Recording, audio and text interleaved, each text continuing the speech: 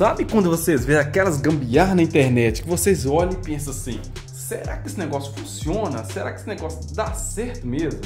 É, pessoal, e o problema é que a mão da gambiarra começa a tremer e você fica doido querendo fazer também. Pois é, então no vídeo de hoje, pessoal, nós vamos fazer uma gambiarra dessa aí. Nós vamos pegar esse motorzão aqui de roçadeira e vamos tacar aqui direto na roda, aliás, direto no pneu.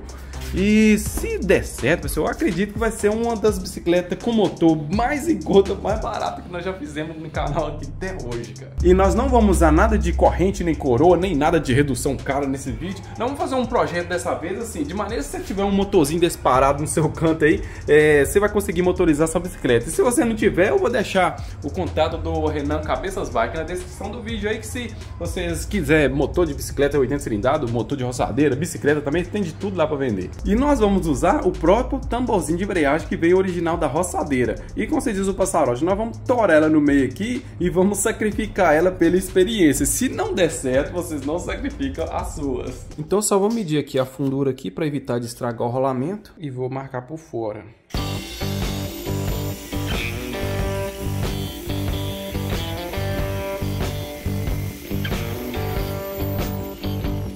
Agora é só encaixar no motor, tacar ali parafuso.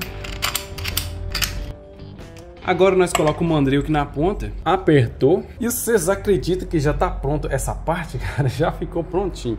É, eu tava pensando em colocar um pistão desse aqui, ó de motorizado ou um pistão mesmo de carro aqui para rolar no pneu aqui. Mas esse pistão de carro, eu contei que ele tá dando 7 voltas para poder dar uma volta no pneu. E eu tô achando muito pouco, tá ficando um pouco reduzido. O pistão de motorizada, ele deu 13 voltas para dar a volta no pneu aqui. Eu acho que tu acha meio pouco também. E somente esse mandril, ele tá dando 16 voltas, pessoal. 16 a 17 voltas. Então eu acho que vai ficar bem reduzido. Eu acho que vai ficar melhor desse jeito. E ainda além de tudo, não deu trabalho nenhum na adaptação, né?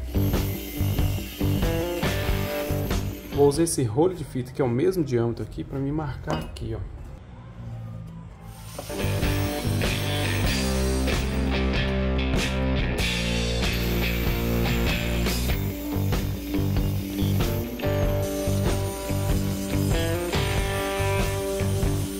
Vou tirar a embreagem aqui de novo, para nós marcar os furos aqui, ó.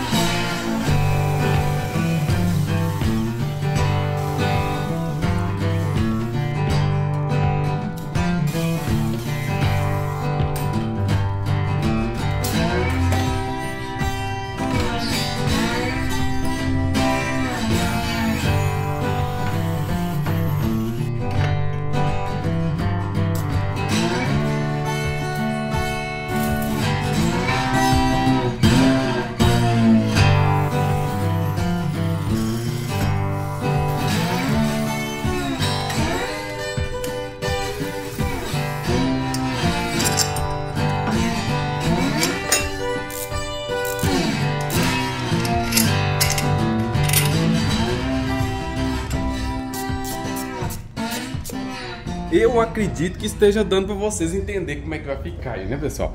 É, ali tá o suporte na bicicleta, aqui vai ser colocado assim, ó, dessa forma, só que ele tem que movimentar para cima e para baixo para a gente estar tá apertando no pneu.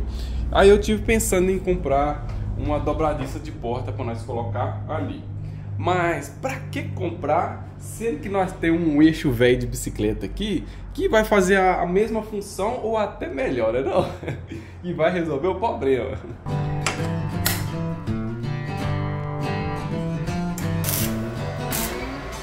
Olha só o grau do negócio aí, já está começando a funcionar já, ó. olha só. Bacana demais. E o legal desse eixo que eu desembolei aqui, que não tem folga nenhuma, não tem folga nenhuma, nenhuma, igual a casa dobradiça de porta. E agora o que nós vamos fazer? Nós vamos ter que esquematizar um, um jeito de poder esticar, é, apertar, né? O motor mais pro lado do pneu aqui para evitar de deslizar.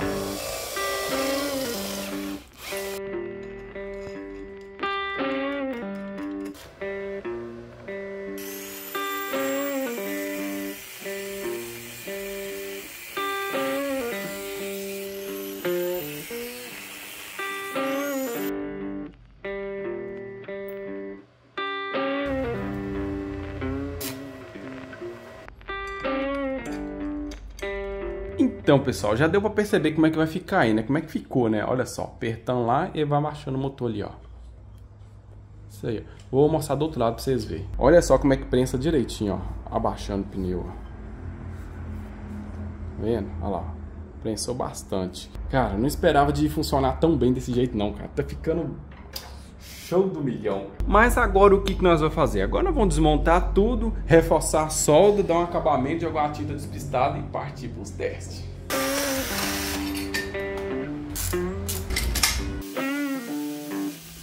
Fiz esses frios aqui no mandeu para evitar de estar tá deslizando na roda. Mas mesmo assim, se caso deslizar, tem uma segunda opção ainda, que é esse aqui, cara, encaixa igual uma luva ali, essa câmara de ar de bicicleta. Então a gente pode cortar um pedaço, encaixar ali e passar cola. E olha só como é que ficou o nosso suporte. Show de bola, né, pessoal? Ficou simprão, cara, olha só.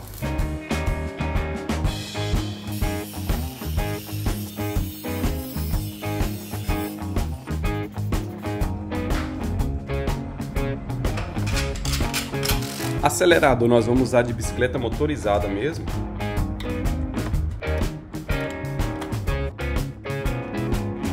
Os cabinhos desse botão. Nós liga no cabinho, corta a corrente do motor.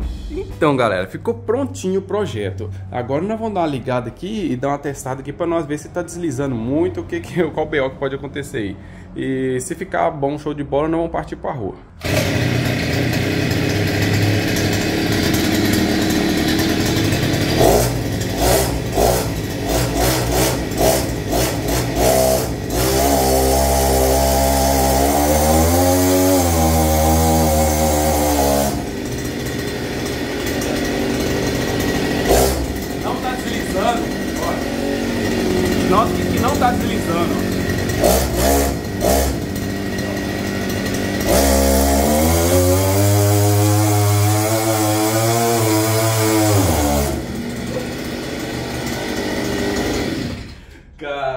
Parece que tá ficando melhor que eu pensei.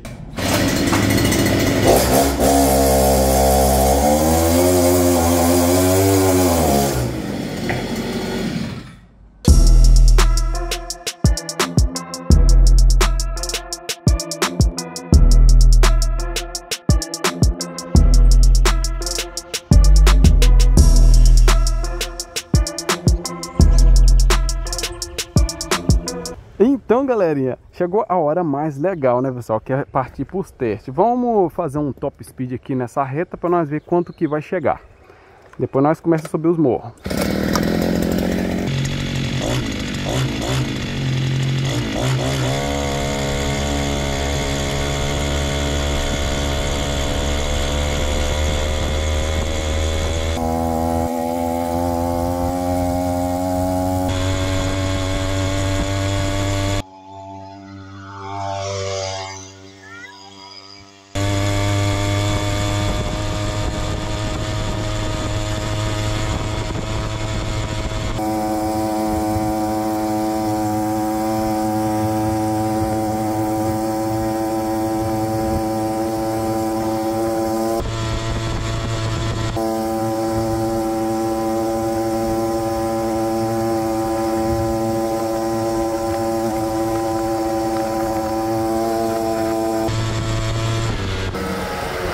Por enquanto deu 48. Para nós tirar todas as dúvidas, nós vamos fazer mais um teste de velocidade aqui, pessoal. Vamos na mesma reta aqui de novo, ó. Vamos ver se... Vamos dar mais uma puxada aqui, ó.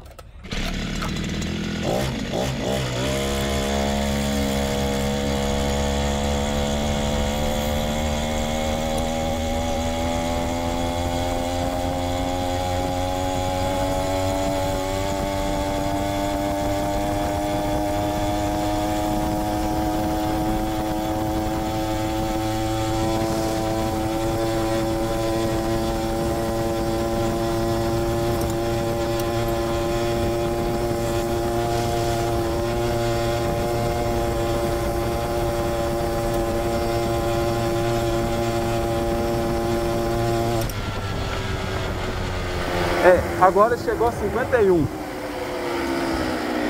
Chegou a 51 agora no máximo, pessoal. Então é, pelo que eu tô vendo, mais ou menos isso aí. Chegou a hora de nós testar a subida do morro. E eu tô curioso para saber se vai aguentar subir aqui em morro, cara. Porque da outra vez nós fizemos uma montagem com a roçadeira do outro lado, é, não aguentou subir aquele morro ali. Então é, eu tô curioso para saber se vai subir, porque dessa vez agora parece estar tá mais reduzido. Vamos embora.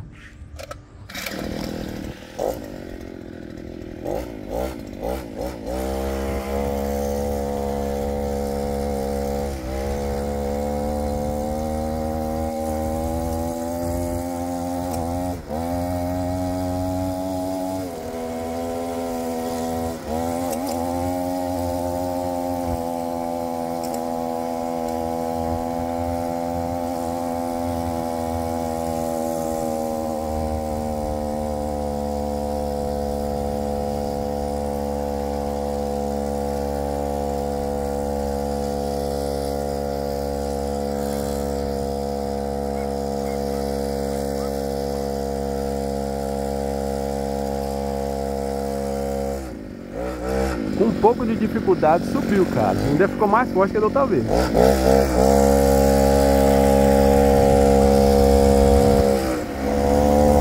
Pegando mais alguma subida aqui, ó.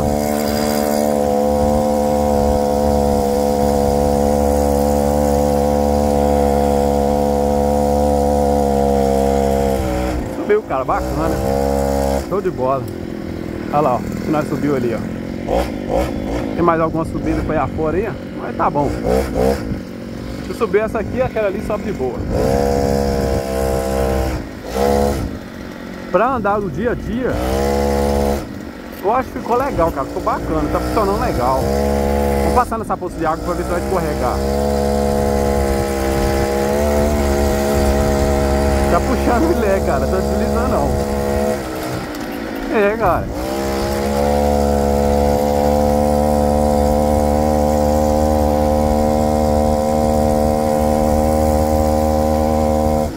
Cara. Sinceramente, é, eu, eu acho que surpreendeu um bocado, porque eu achei que ia ficar deslizando demais e o negócio ia dar trabalho, não ia dar certo não, cara. bacana, cara.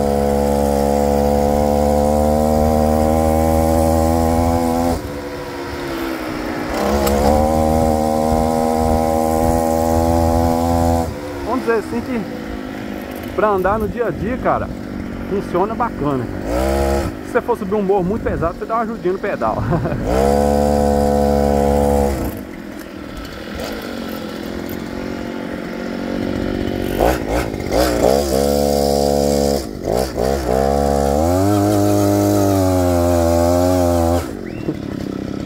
Borrachão de roçadeira.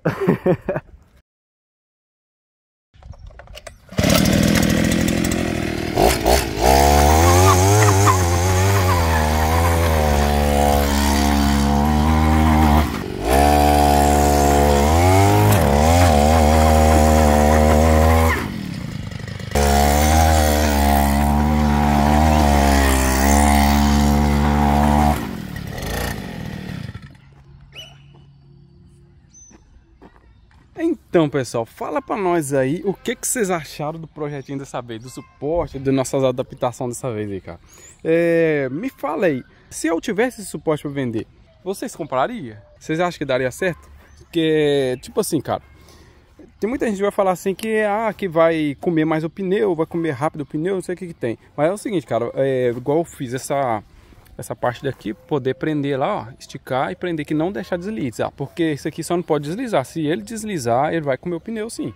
Mas fazendo dessa forma, é até um ponto aqui que de melhoria do projeto. O que eu faria é o seguinte, porque esse, essa borboleta que eu fiz aqui está voltando, então tem que colocar a espécie de uma porca travante, uma porca, uma segunda porca para dar uma contraporca aqui, poder, quando você, quando você apertar aqui, você trava outra também para evitar de voltar, porque fica voltando. Eu acho estranho porque esses modelos de motor que puxa no pneu, assim, por fricção, é trocentas vezes mais caro que motor elétrico de cubo, motor de engrenagem, qualquer outro tipo de motor. Esses motor que pega assim de fricção, assim, no, direto no pneu. Vocês podem pesquisar para vocês verem. Portanto, é difícil até ter no Brasil, cara, para vender, que é muito, muito caro. Não sei porquê, cara, que é mais caro quando é de fricção. Mas eu acredito que não desliza muito no pneu por causa da embreagem automática. A embreagem auto automática é tipo que dá uma maciada, não deixa dar arranco, nem na hora de acelerar, nem na hora que para de acelerar.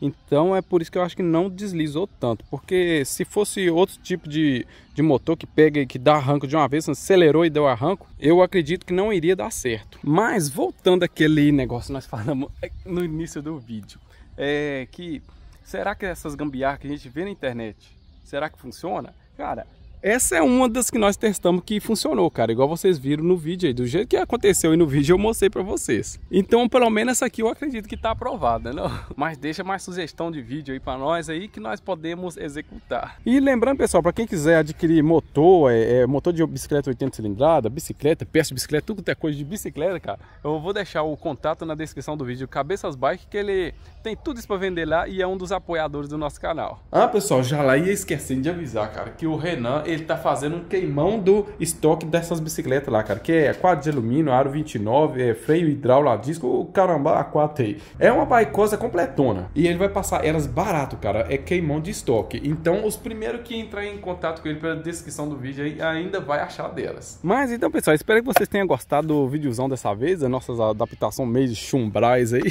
Se tiver gostado, cara, faz aquele sanduíche de coisa aí, que é curtir, compartilhar, se inscrever no canal e sair embolando esse monte de coisa, seguir social céu todo aí. E até o próximo vídeo. Eu tô até embolando aqui já. Até o próximo vídeo, se Deus quiser, galerinha. Fui!